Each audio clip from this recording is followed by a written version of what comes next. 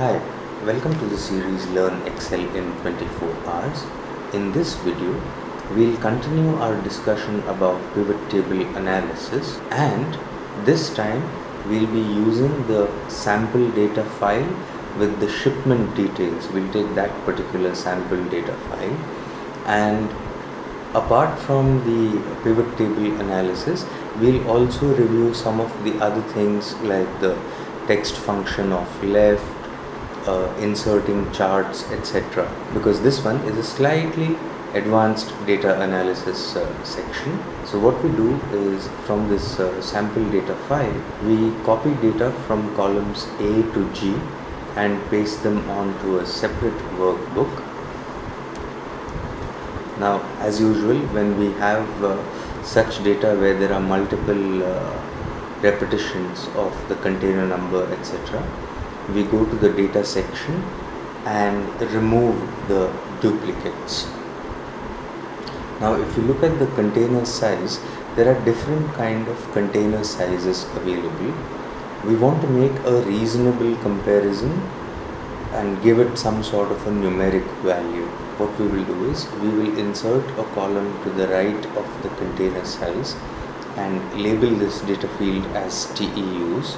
Now we select all the rows of data where container size is 20 and we assign the TEU value as 1. Next we take the 40 and 40 high cube container size and we assign the TEU value as 2 and then we take the 45 HC container size and assign a TEU value of 1.25 just one thing I want to flag over here is that in real life the 45 HC container size has a TEU value of 2.25 here I've just put in 1.25 our objective is to learn pivot table analysis but just keep that in mind that this is a hypothetical value put in for 45 HC that's not the real life value.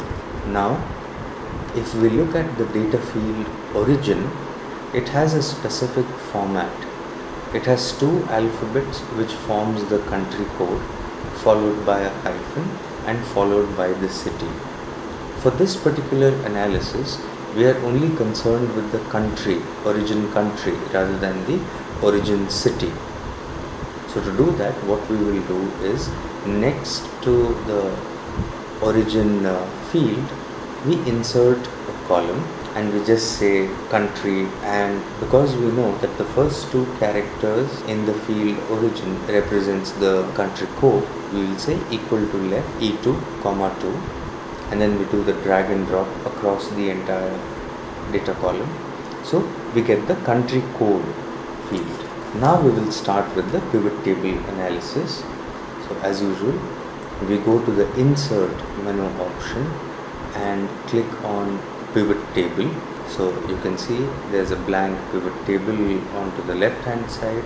On the right hand side on top you have the pivot chart fields. And on the bottom right hand side you have four sections filters axis categories values etc in this pivot table let us say we want to analyze TEUs from different country codes. So we will drag and drop the country code section in the rows and we will take the TEUs in the values section. So we get this particular pivot table analysis where we have TEUs per country. Let's say we want to represent this data in graphical format. So what we can do is we can select the data, go to insert and then in the charts section select on the bar chart. So we get a bar chart analysis of TEUs per country.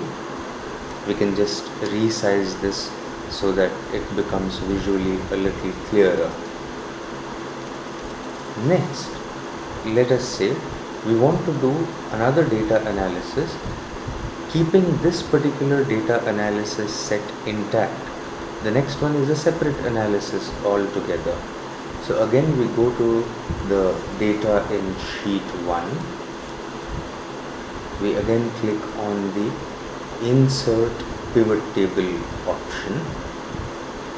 This time, let us say we want to do the analysis on the basis of rows. Specifically, we want to do the analysis on the basis of destination in the rows section and TEUs in the values section. So we drag and drop destination into the rows and TEUs into the values. So we get the summary data over here as to for each destination city what is the sum of TEUs that has gone in. Now let us say we want to represent this data in the form of a pie chart. So we select the data in the pivot table, go to insert chart, select the 3D pie chart option, resize it and then we have a visual representation as well. So we have the data pivot table analyzed on the basis of data in sheet 1 and we have this pie chart which is giving us the data analysis. There are numerous permutations and combinations possible for pivot charts and pivot table analysis. So there are some more permutations and combinations that I have done. I would encourage you to observe those carefully and then try to figure out uh, some permutations and combinations and practice some by yourself so that you get familiarized with the same. Just observe the remaining options as well. Thank you.